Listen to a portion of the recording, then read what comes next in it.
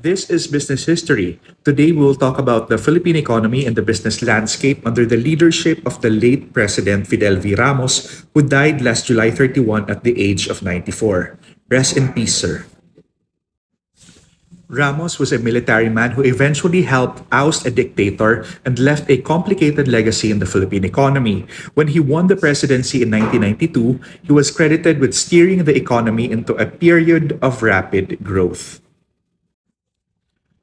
He was able to do so with Philippines 2000, his socio-economic program which aimed to industrialize the country by, yes, you guessed it, the year 2000.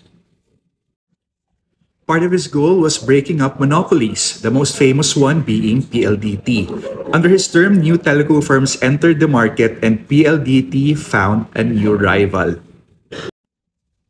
That is, of course, Globe, which started operations in 1994. Ramos also opened up the Philippines to more foreign investors and allowed more foreign banks to set up shop here.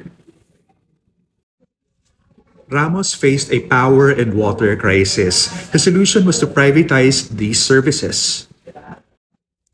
So from MWSS, private companies Manila Water and Maynilad took over water and wastewater services in Metro Manila. Power plants were also privatized during his term.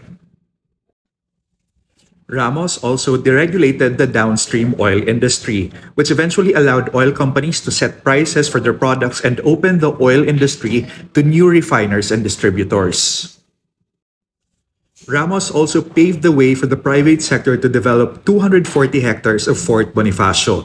We now know this as the Bonifacio Global City, which is now a major financial center in Metro Manila. Ramos also used the money from the sale of the land to modernize the military. Economists say that Ramos's measures helped the Philippines recover from the Asian financial crisis in 1997. But activist groups up to this day view the late president's liberalization efforts like oil deregulation as anti-poor and made the Philippines vulnerable to pressures from the West.